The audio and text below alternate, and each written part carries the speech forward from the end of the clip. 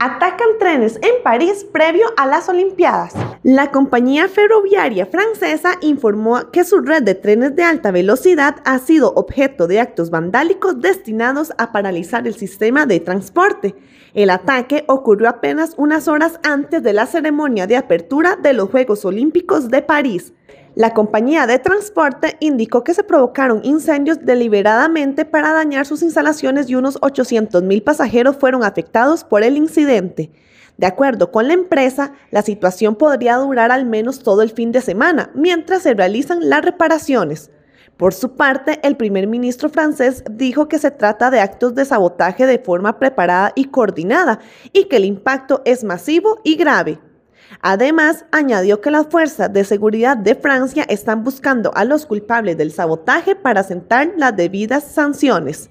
De hecho, las autoridades señalaron que aunque nadie se ha atribuido la responsabilidad del ataque, es difícil no ver un vínculo con los Juegos Olímpicos. En Francia, una condena por este delito puede ser sancionado con penas de hasta 15 años de cárcel y multas por unos 225 mil euros.